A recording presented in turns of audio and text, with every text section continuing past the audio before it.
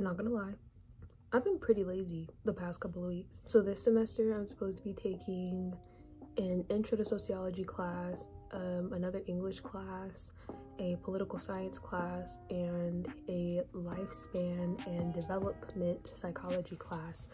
But my political science class is eight weeks long. My plan was to get the book for my political science class and just like read through it and take notes and everything so that whenever the class does start, which is in a week or so, I can be a little bit ahead on the assignment so that I won't feel too overwhelmed when the semester actually does start. And my pencil's at 23%.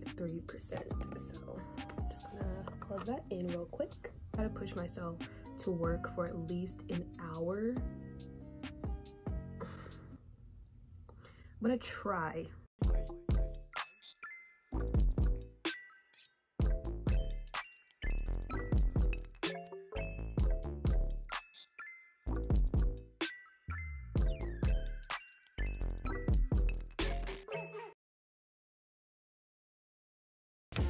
Entry door.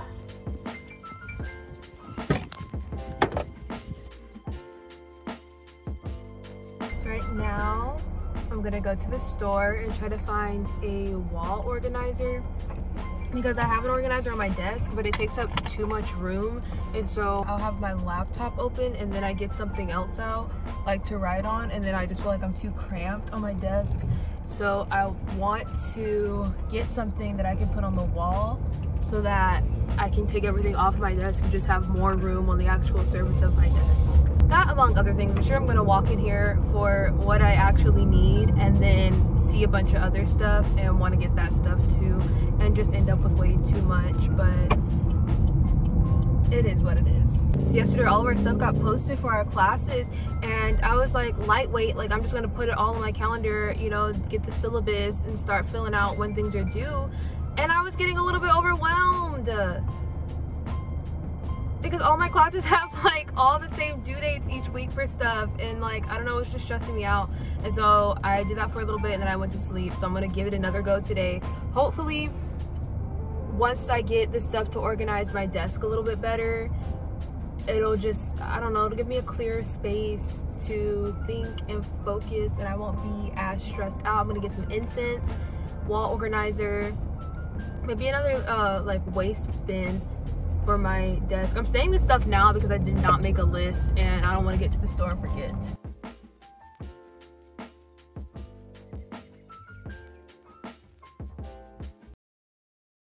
Okay, so it's a little bit later now and I'm gonna go ahead and try to take all of this stuff apart and take all this stuff off the walls and put up the new stuff that I got and just see how everything comes together as you can see it's a little bit messy. I do have some trail mix and things here that don't really need to be here but i just sort of been putting off straightening it up because i knew that i was going to reorganize my desk anyway so hopefully this will work out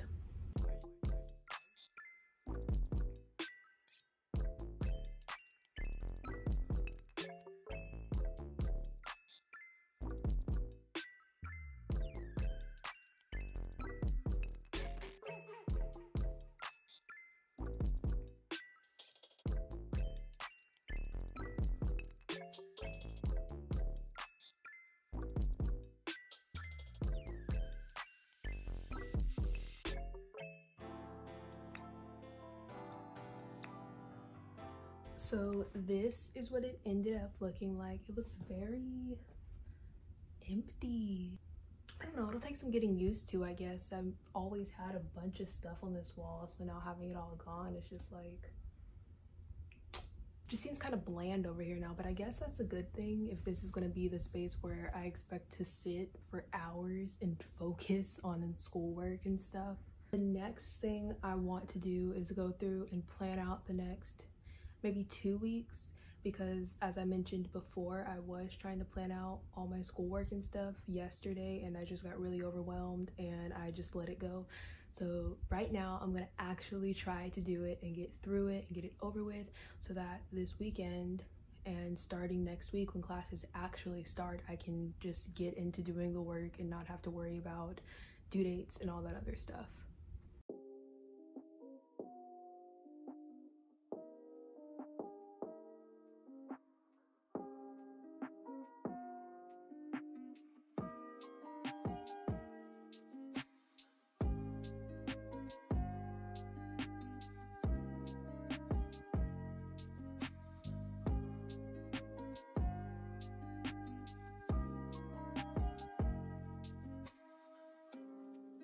Here's a little bit of what I did the other day. This is my like paper planner. Right now I'm in three classes. I have my sociology class, an English class, and polit political science class. And I went through here and each month on my monthly calendar, I put what was due and for what class. And I started to highlight things so that they kind of correspond with each class. So like here's the next month. This is October and I have some things that are due, but I didn't finish. This is where I stopped at. And over here is my like calendar app, which is, you know, connected to my laptop, my phone, my iPad or whatever. And I just put in all the times that I'm like working. And then in red, I have the times that I just set aside for schoolwork. There are some big gaps. So like obviously I have a little bit of room to like maybe start a little bit later or work for a little bit longer. Like it's not definite. I'm definitely not getting up at 8.45 to do it. Truthfully, I'm probably not even getting up at 9, but this is the plan. If I work in the morning, then I'm gonna try to do schoolwork at night and I give myself some room to rest. Um, same as if I work at night, I'll do my schoolwork in the morning and have some room in between there. And that's what I did. I didn't do any like deep planning for like what assignments I'm gonna do when because I don't even know how these classes really work yet. So I just set aside a chunk of time I don't know if I'm gonna do it tonight. I might save it for tomorrow, but before Monday, I'm gonna actually look into what assignments are due first and then be able to put it on the daily part of my calendar. So even though I have my month planned out, each week in my written calendar, I'll put what assignments I'm gonna do and then I'll be able to keep up with it that way and cross off on stuff as I finish it before I get behind because I do have some self-paced classes and those will creep up on you if you don't plan ahead to get the assignments done.